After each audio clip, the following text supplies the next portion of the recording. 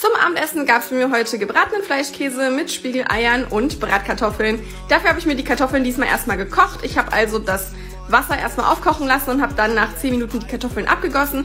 Und dann habe ich sie einfach in Scheiben geschnitten und dann kommen sie in eine heiße Pfanne und werden ordentlich kross angebraten.